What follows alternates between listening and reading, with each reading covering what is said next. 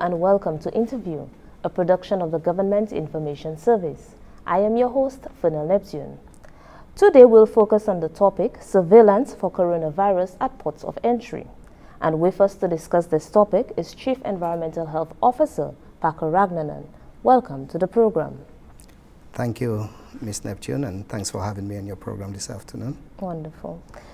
As we look at the Department of Health and Wellness um, to focus on surveillance at the ports of entry, one of the areas is very important is the international health regulation. Can you tell us a little more about this?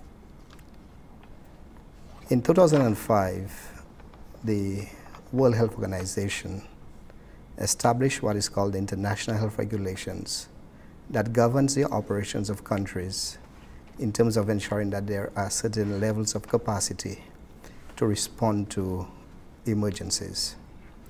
Uh, previous to that, you had an old regulations that dealt with just six diseases. Among them would have been yellow fever, plague, and such. However, uh, it was thought that restricting international health just to six diseases was inadequate. And so the new international health regulations made provisions for diseases as well as other events that may constitute public health impact. And therefore, uh, these new regulations came into force in 2005, and the World Health, members of the World Health Assembly signed on to these regulations. Mm -hmm. Having done that, what essentially transpired is that uh, once St. Lucia signed on, it became an internationally binding piece of legislation.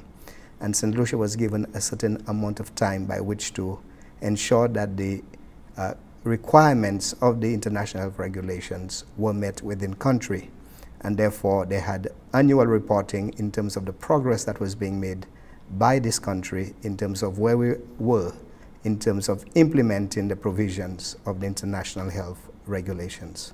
So all countries that are members of the World Health Assembly are guided by this piece of regulations. Okay. And um, with the coronavirus, um, we saw that the World Health Organization declared it a public health emergency of international concern. Can you tell us a little more about this? What does this mean? Right. So initially, when the coronavirus uh, was first touted around, mm -hmm. it was restricted to China. And the World Health Organization, they had a, a preliminary meeting and they discussed the pros and cons of that particular virus and how it was being transmitted and spread at the time. And the first um, decision that was taken by the World Health Organization is at the time was that they would not publish it as a public health emergency of international concern. However, when you begin to have spread of the disease, so it began to leave the borders of China and got into other countries, then there was a second meeting held by the World Health Organization and they began to look at the pros and cons of the transmission of coronavirus and what it would mean for other countries. And then having looked at also the impact that the disease was having on China in terms of the number of persons that were getting sick, the number of people that were dying, along with the spread to other countries, it was then that the World Health Organization decided that they would declare uh, a public health emergency of international concern. So what that really means is that uh, uh, coronavirus needed to have uh, um, an international response, not just by China, but by other countries in the world as well. So in essence, when, when it was declared the public health emergency of international concern, countries now were to look at their own systems and to tighten up on the systems and to ensure that uh, they can respond to a case or cases of that disease and to ensure that capacities are implemented within countries.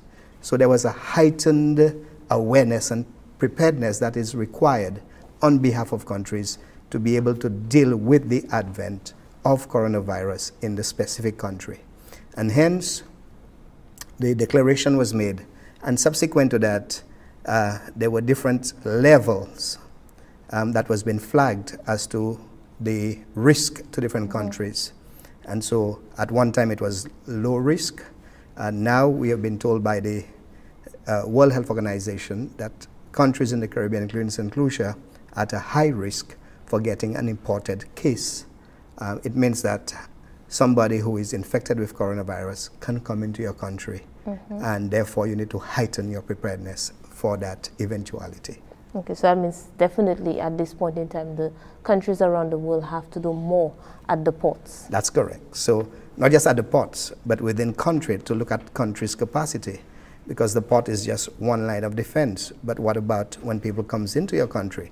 You're able to respond in terms of your quarantine measures at your hospitals, um, ensuring that you have uh, um, your, your PPEs, personal protective clothing and equipment available, ensuring that you have systems in terms of being able to respond to a case. So it is not just points of entry, but to ensure that overall as a country, there is national preparation that is done to ensure that you are able to respond as a country.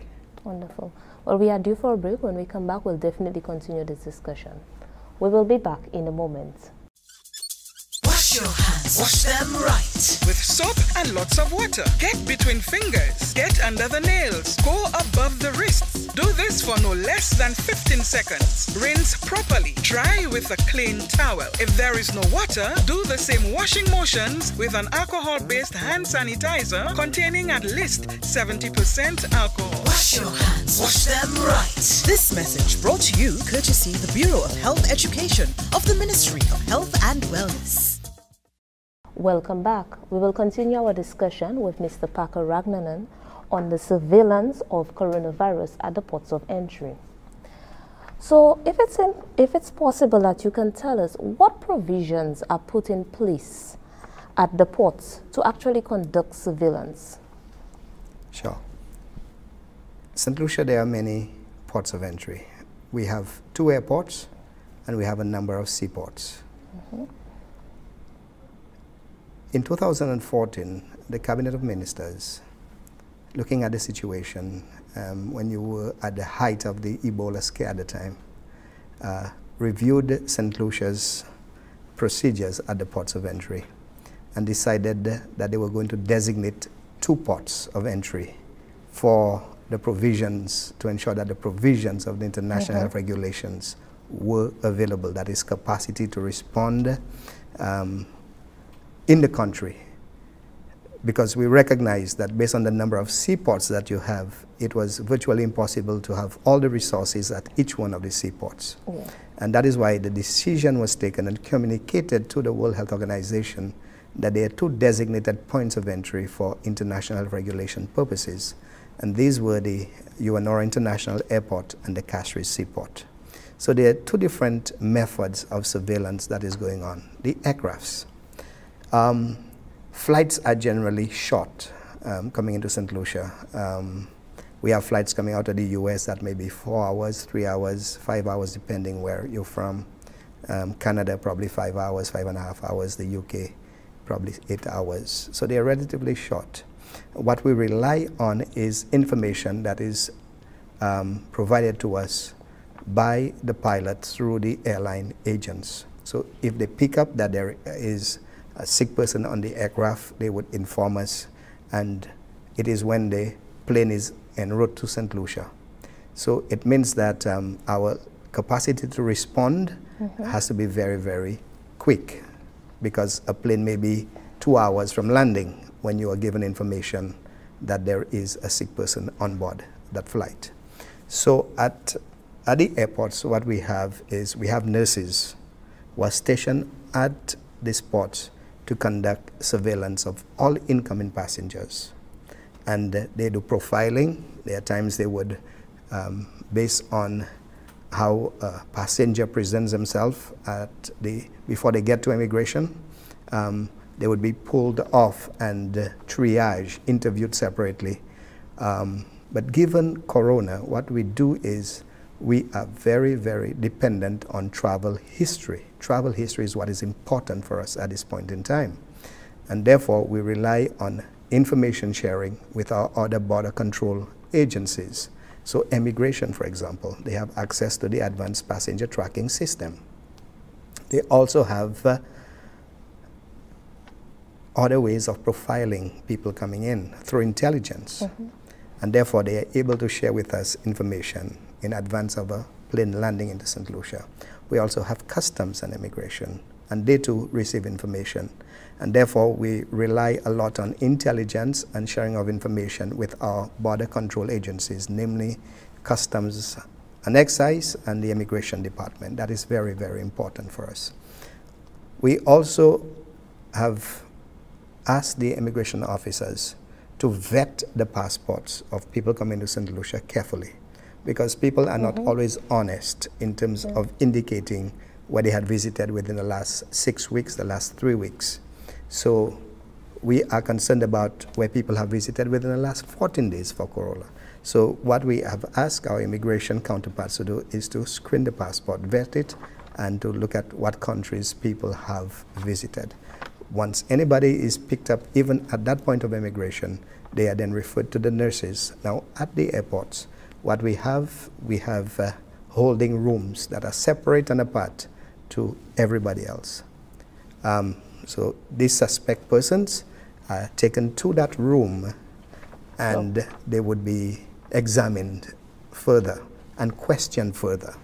Great. Based on the findings of the nurse at that, at that port, then a decision would be taken as to whether the person is allowed to continue the normal route to get mm -hmm. clearance or whether they need special medical assistance, and that is where the decision would be made and provided for. At the seaports, you have uh, a different system. We rely on the ships that are coming into St. Lucia to submit what they call a maritime declaration of health. And a maritime declaration of health gives us a status of uh, the health of the passengers on board. And for St. Lucia, we have asked for a 24-hour advance submission of that document. And also, there is an updated version that is submitted when the ship comes in the morning and is asking for clearance. The port health officer boards along with customs, immigration, and the ship's agent, and then reviews that document, and a determination is then made as to whether to grant the ship clearance or not. If there are sick people on the ship generally, they are quarantined on board the ship in their room and are not allowed to come out uh, to be able to meet with our citizens and the public or to spread any infectious disease. Wonderful. And any final words before we go? Well, we just want to continue to assure the St. Lucian public that we are doing all possible. We do not want to come here and tell you that there's a 100% foolproof mm -hmm. system and nothing can come in, but we are doing the best that we can as possible to ensure the safety of all that is our citizens and visitors to St. Lucia. And we want to continue to work with you and you with us. If you have information that you'd like to share, please contact the Ministry of Health. Uh, it's 468-5300 if you need to transmit, any information to us because we want to work together and collaborate as we continue to ensure there's a safer St. Lucia for all of us. Thank you. Thank you so much, Mr. Ragnar, for providing us with this information. It was very valuable. Thank you. Okay. Well, that's how we come to the end of interview, a production of the Government Information Service. On behalf of the entire production team, I am Fernelle Neptune. Thanks for watching.